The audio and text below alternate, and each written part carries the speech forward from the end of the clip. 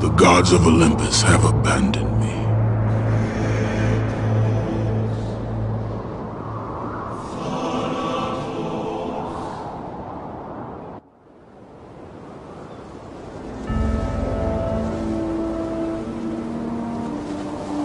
Now there is no hope.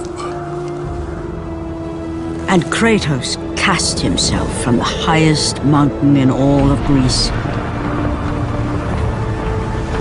After ten years of suffering, ten years of endless nightmares, it would finally come to an end. Death would be his escape from madness.